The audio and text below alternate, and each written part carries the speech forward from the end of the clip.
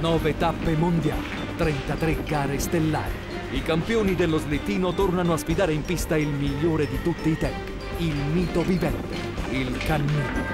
L'azzurro, Armin Zeng. Due ori olimpici, sei mondiali, due europei, dieci coppe del mondo. E a 38 anni un'inesauribile voglia di addentare nuove vittorie. Lo spettacolo della Coppa del Mondo di Slittino 2013, morte su Rai Sport.